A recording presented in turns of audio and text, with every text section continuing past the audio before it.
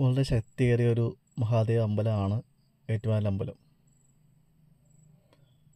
അപ്പോൾ എന്റെ അമ്മയ്ക്കൊരു അസുഖം വന്നപ്പോൾ നേർന്ന ഒരു വഴിപാടുണ്ടായിരുന്നു അതുകൊണ്ട് ഞാൻ പോയത് ഫാമിലിയായിട്ട് പോയത്. മാമയാണ് നേർന്നത് അമ്മയ്ക്ക് ക്രിയാറ്റിൻ കൂടിയായിരുന്നു ശരിക്കും കൂടിയായിരുന്നു അമ്മയ്ക്ക്. എട്ടൊക്കെ വന്നായിരുന്നു. അപ്പോൾ എല്ലാ ദിവസവും ഡയലീസൊക്കെ പറഞ്ഞു. ഭഗവാനെ പ്രാർത്ഥിച്ചപ്പോൾ അതെല്ലാം ശരിയായി കിട്ടി. ഇപ്പോഴാണ് പോകാൻ പറ്റിയത്. അപ്പോൾ ഞങ്ങൾ ഇറങ്ങിയപ്പോൾ താമസിച്ചായിരുന്നു.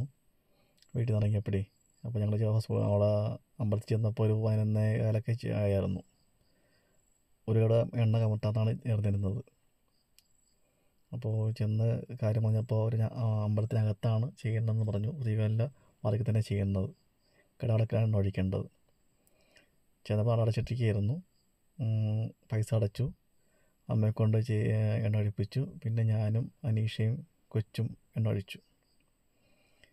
അപ്പോഴേക്കും പൂജ സമയം നട ശരിക്കും അതിനെ തൊഴാൻ പറ്റി.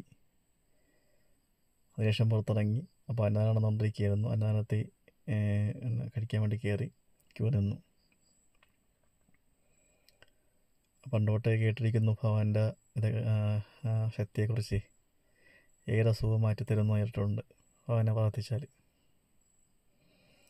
ഏഴ് പൊന്നാനെ കാണാൻ പറ്റിയില്ല.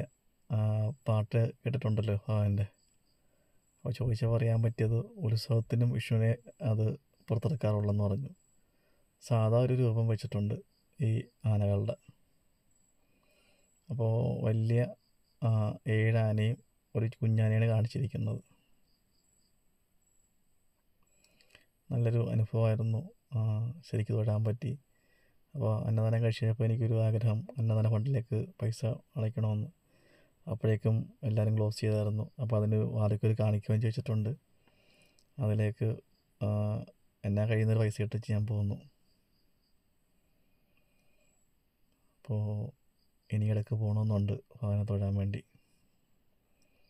ഭവന മുറക്ക് പഠിച്ച എല്ലാ പ്രശ്നങ്ങളും മാറിക്കിട്ടുമെന്ന് മനസ്സിലായി. ഏറ്റവും കാത്തോണേ.